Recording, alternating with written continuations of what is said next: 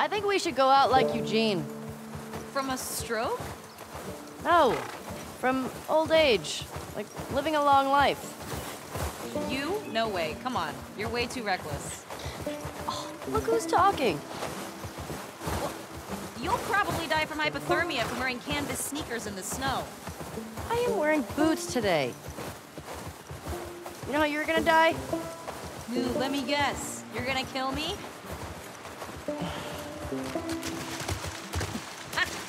I ruin your punchline? No. Maybe. Fuck you. Sorry. I see spores in there. Masks on. Got it.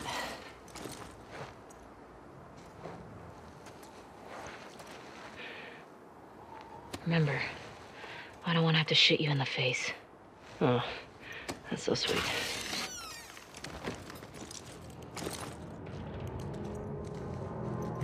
All these spores mean they've been here for a while. Keep your eyes peeled for older infected. Yep. Is this part of the supermarket? I don't know. I think we're above it. Let's get to the ground floor.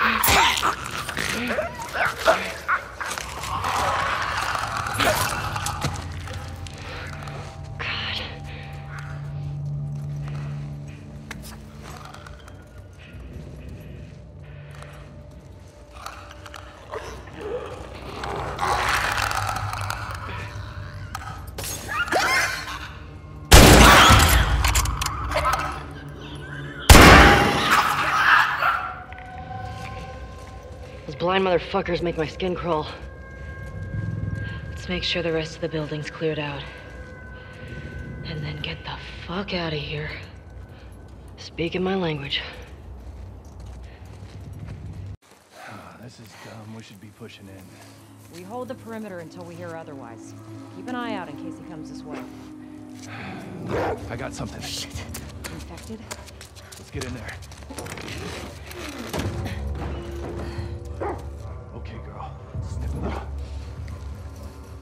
This guy's connected to the girl from the school? That'd be a hell of a coincidence if they weren't. I hate these small groups. Big groups, it's a straight fight. These loners, they could be hiding anywhere.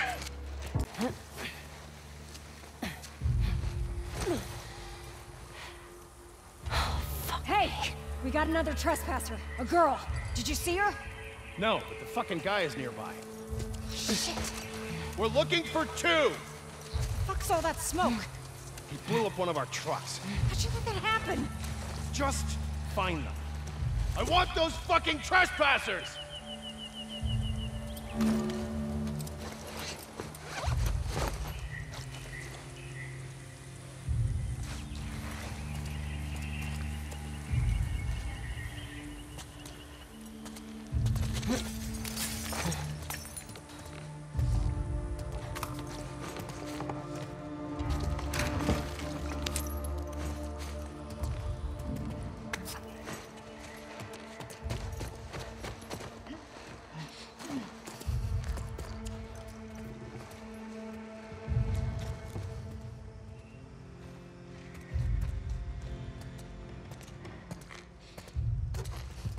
Might have something.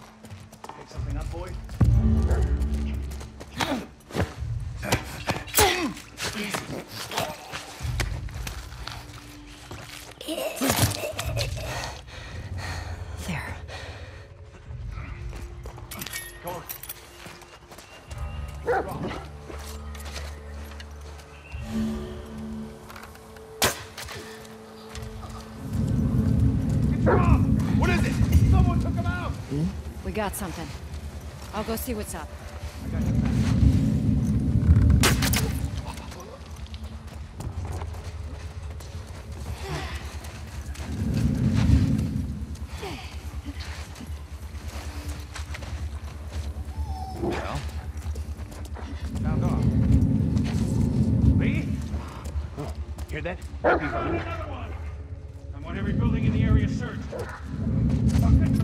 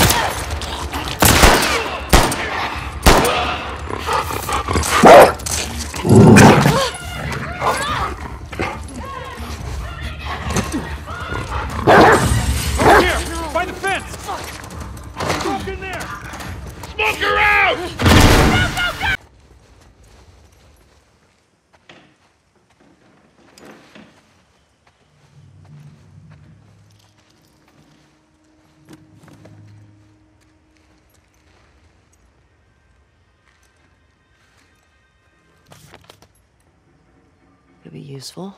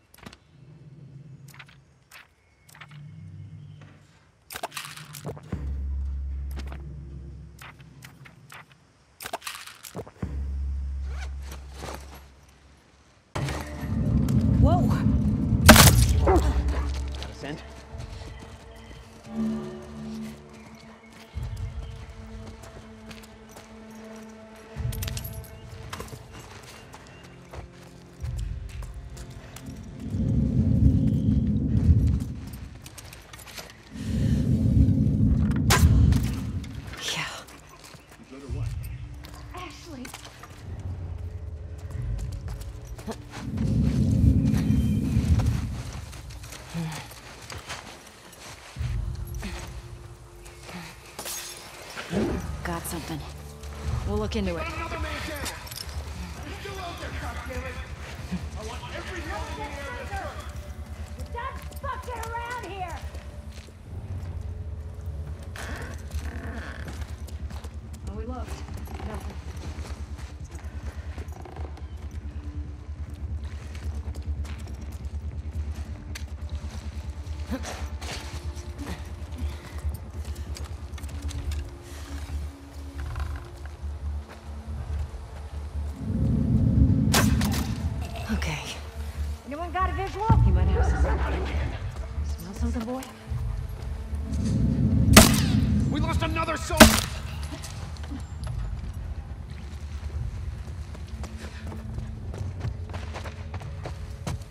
There you go.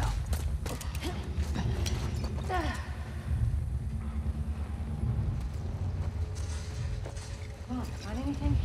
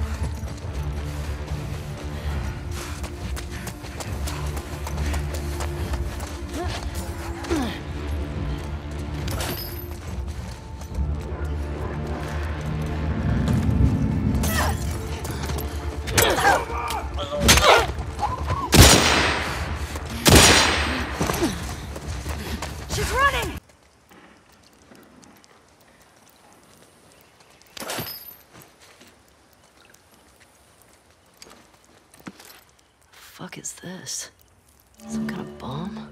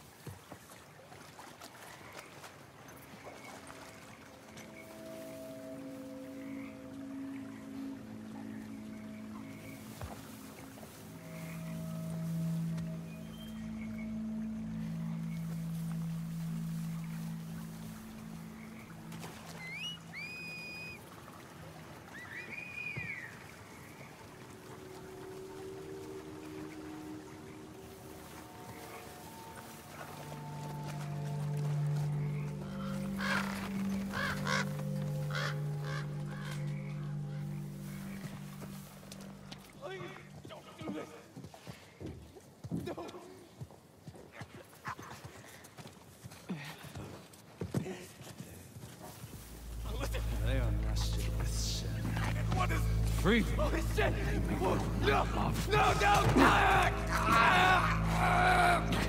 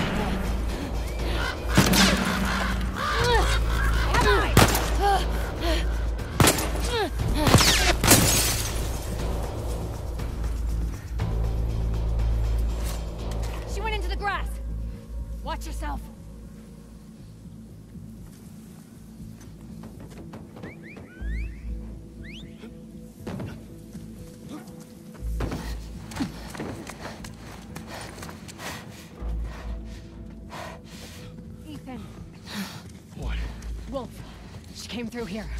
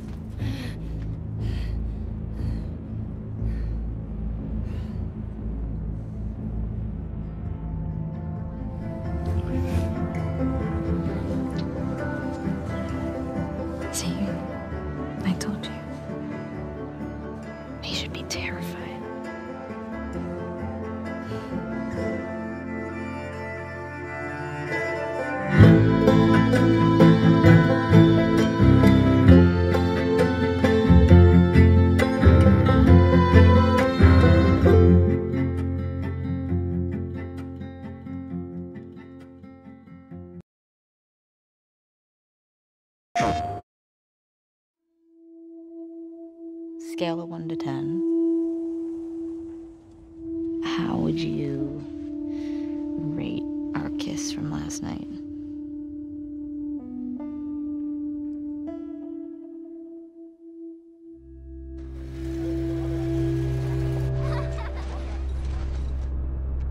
Look who decided to join us.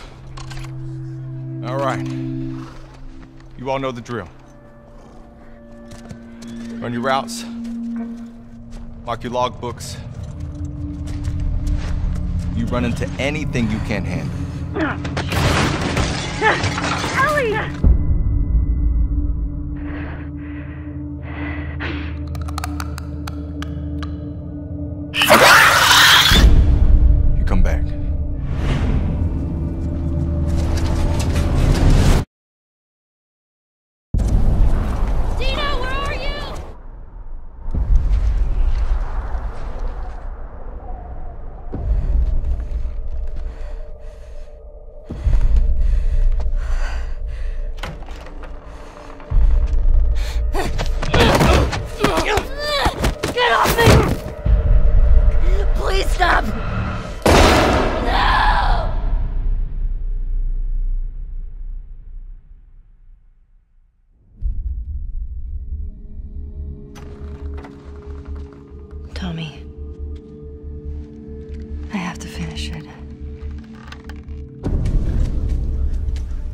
You have no idea what you're walking into. What are you doing? You don't know how large that group is, how armed. I don't care.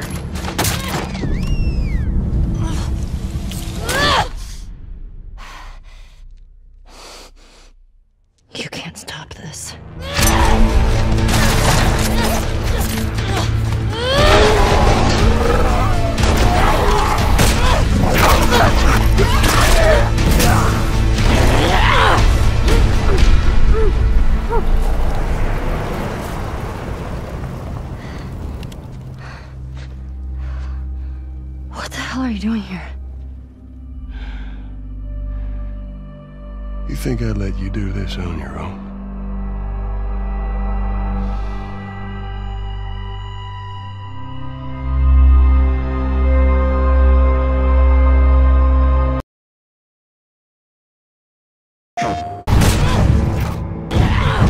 It's been about a year and a half since we showed anything from The Last of Us Part 2. In that time, we've really been kind of like heads down, quiet, because we want to make sure we have the proper time to do this game justice.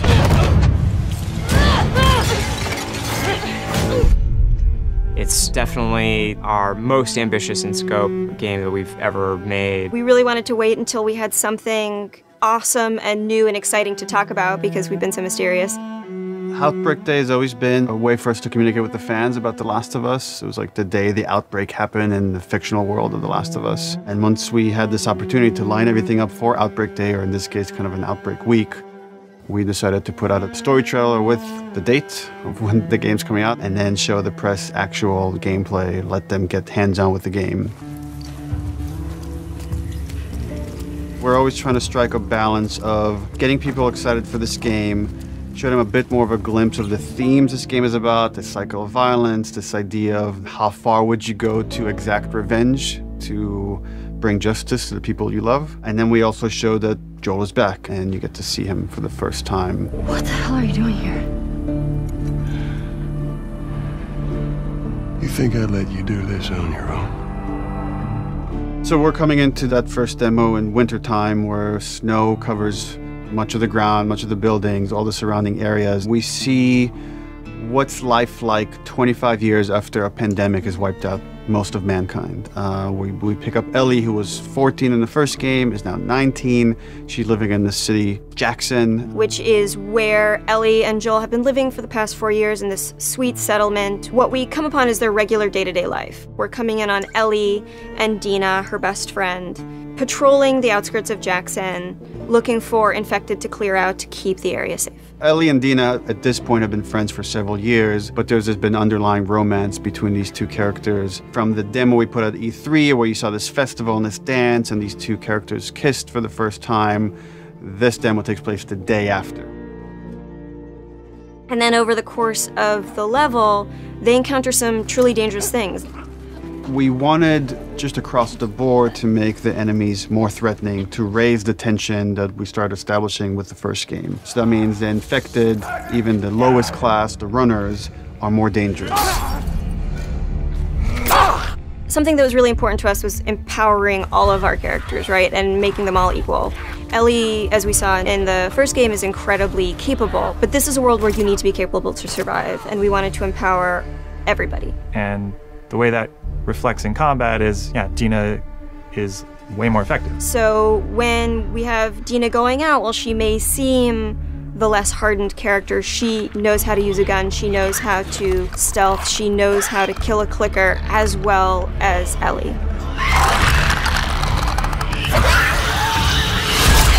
When we were looking to expand on The Last of Us 1 to The Last of Us 2, one of the things that jumped out as uh, you know, being an avenue that was really worth exploring was traversal. Ellie is so much more agile, kind of more athletic, that it seemed like we should really pursue this whole avenue of gameplay. Introducing like a real jump, like a real arcing jump, has allowed us to make for much more interesting puzzles, more interesting vertical environments, and can frequently integrate well into combat setups as well. She's able to move quickly in a lot of different ways. She can dodge attacks, she can squeeze through, we call them squeeze throughs. Oh, looks like I could fit through that. Oh, I can fit through that. That's cool.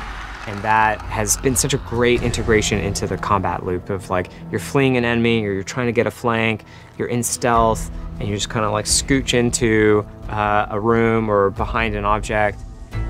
In The Last of Us, you kind of rely on your weaponry. Like they're frequently the difference between life and death. They, they're with you for the entire game. Uh, a lot of the gameplay choices that you make are based on how you use them, how you evolve them over time through your upgrades. We really wanted to give an opportunity to look at them up close, to interact with them physically. And so the workbench seemed like the ideal place to do that. I think over the course of the level, just talking about the tech for a second of just a snowy environment, we've got you know all the deforming snow stuff you'd expect, you know brushing by on horseback a branch and the snow falling and collecting on the horse, like all these things you would expect in a realistic grounded world. You know we have this weather, the storm kind of kicks up over the course of the level. It goes from more of a clear day into a blizzard. It's all just to build this tension of you know the mess that they got themselves into. Can they make it safely out? Dina, where are you? Eventually, they end up in this old abandoned library. And it's in this moment where Dina really pokes and wants to get the ball rolling on this flirtation, wants to bring down Ellie's walls. And they kind of reveal to each other how much they like each other. You're infuriating. Have you met you? And then we have a second demo that the press played that's like much later in this story where Ellie started going down this road of revenge. She finds herself in Seattle, um, pitted against this group that controls the city. Called the WLF. Uh, they're kind of a, a little bit like a militia that has taken over the town, and they have a very zero tolerance policy on people who are not from Seattle, kind of intruding on their space and she hears over the radio that a male trespasser has been spotted, and she knows that the WLF are closing in on him. And so we find her negotiating this abandoned hillside suburb. And she's running into this new enemy type of guard dogs that the WLF are using. Dogs have a new sense of perception to bring to the table, which kind of puts this uh, really interesting wrinkle on stealth gameplay where so far you've been dealing with sight and sound, trying to stay out of sight, trying to move slowly to be quiet. Uh, but now with enemy dogs, you have to worry about them picking up your scent trail. If you go into listen mode, you can see, we have a visualization of that scent so you can see like when the dog is sniffing you and where it's going. You can throw bottles to distract the dog off of your scent, and it just adds this extra tension. The second part of the demo, even though you're fighting mostly human enemies, we're introducing one of our new infected classes, the Shambler. And the Shambler is kind of a lumbering, tankier enemy that can take a lot of punishment. They'll kind of chase you down and try to get towards you and then burst and leave behind one of these lingering, corrosive clouds. In the demo, we have this mini boss fight, and that class happens to be a stalker. It's a class between runners and clickers. It's a class that can hide and run away, and we wanted to do a lot more with them in this game. And because we have this evade mechanic, you can kind of go toe to toe with someone, and we can have these boss fights that we weren't able to have before. So you guys can go back and forth and exchange combos and evade each other and slam each other onto like desks, and we have we can now render all these physics objects, and it's all done in service of just grounding you more in this world, making you more immersed in this fight, and feel like Ellie is barely surviving by the edge of her abilities. So for The Last of Us 2, we've kind of almost completely overhauled the player upgrade system. For the first time in the game, you're able to learn entirely new crafting recipes just via the upgrade system. These are abilities that make your character feel really different. You are really able to pursue the playstyle of, of your choice uh, and kind of make the Ellie that you're playing your individual Ellie. We designed the whole experience to be something where it's a balanced stealth experience where you have a lot of tools to escape. You have a lot of tools to evade. You can entirely stealth past everyone. Got something. We'll look into it. And then the other big thing we did to immerse the player is make the human enemies much more threatening. They communicate a lot more between each other. Their AI is much more sophisticated. We rewrote most of the systems for this game. So much of this game is a conversation about the cycle of violence and how do we make violence feel impactful to the player? You can't stop this. Enemies have names. So when you're going around and you shoot someone, you might hear someone yell their buddy's name and they're now upset and agitated and that changes their behavior. What is it? Someone took him out! Hmm? We got something. To make a fully realized world, to really honor the impact of this violence, you have to honor every person in it. Nobody's a hero here. The demo is two to three hours of the game. You're seeing two different seasons, two different times of the year. It feels like a lot, and it's a tiny fraction of this entire game. And as we get closer to release, we're going to show more and more of the game, but we're going to be very mindful and conscious to not spoil like big things about this game. And I'm just super stoked for people to finally see the whole thing once it's out on February 21st, 2020.